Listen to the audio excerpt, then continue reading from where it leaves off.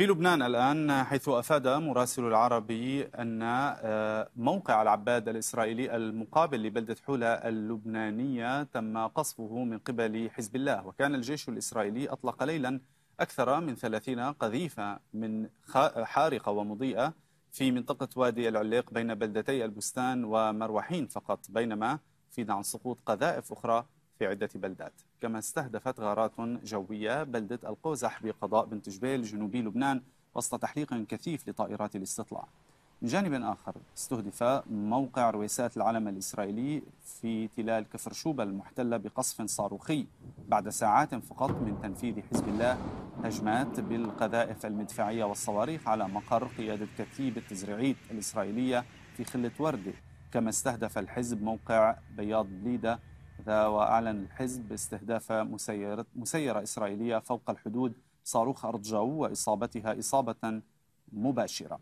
أيضا صباح اليوم عثر على جثماني راعيين من بلدة الوزاني استشهدا برصاص الجيش الإسرائيلي.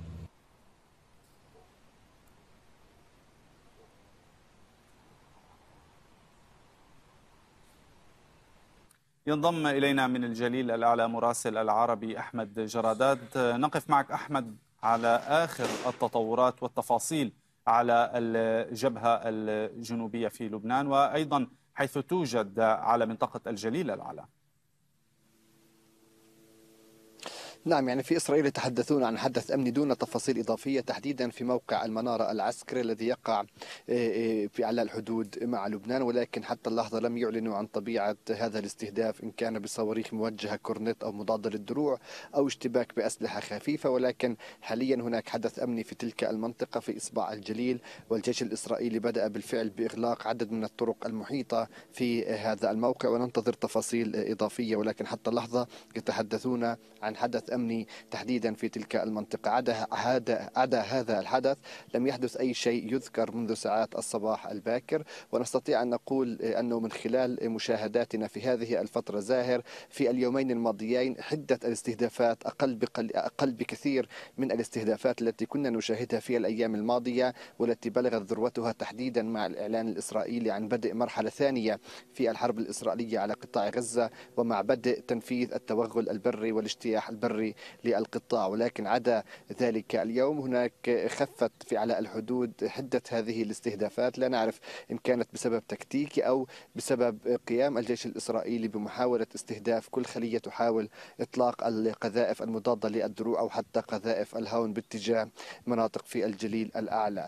الجيش الإسرائيلي يقول بأنه مستعد ومتأهب وأيضا وزير الأمن الإسرائيلي جالنت بالأمس تطرق إلى الجبهة الشمالية وقال بأن الجيش الإسرائيلي يهاجم في الجنوب ويقصد قطاع غزة ويدافع بالشمال بمعنى أن إسرائيل في هذه الفترة لا تريد توسيع عملياتها على الرغم من أن جالنت كان من صقور من الصقور داخل كابينة الحرب وكان يدفع في بداية هذه الحرب باتجاه توجيه ضربة استباقية لحزب الله. ولكن نتنياهو استجاب في حينه إلى المطالب الأمريكية التي طالبت من إسرائيل وطلبت من إسرائيل التركيز فقط على قطاع غزة وعدم التوسع بالحرب باتجاه لبنان والرد على مصدر إطلاق النيران. ولكن جالنت يعتقد بأن حزب الله مرتدع في هذه الفترة والصور التي تظهر من غزة والدمار الذي حل في مدينة غزة وفي الأحياء الشمالية من القطاع والمناطق والمدن الفلسطينية في قطاع غزة ربما هو لا يريد أن يراها في بيروت وهذا ما أشار إليه جالنت ولكن نذكر زاهر بأن بأن التقارير والتقديرات الاستخباراتية الإسرائيلية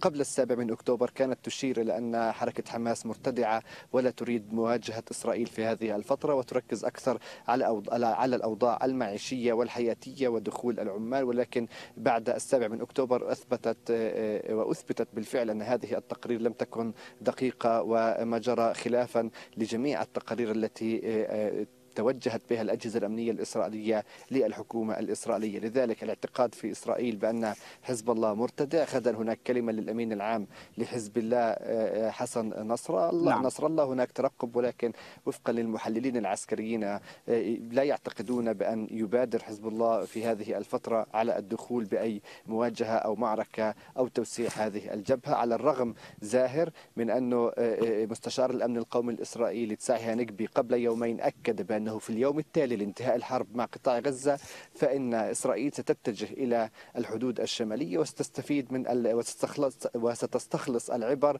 وتقوم بما يلزم تحديدا على الحدود الشمالية بإشارة واضحة إلى أنه إذا ما نجحت إسرائيل بالقضاء على حماس في قطاع غزة فإن الحرب التالية ستكون باتجاه حزب الله في لبنان.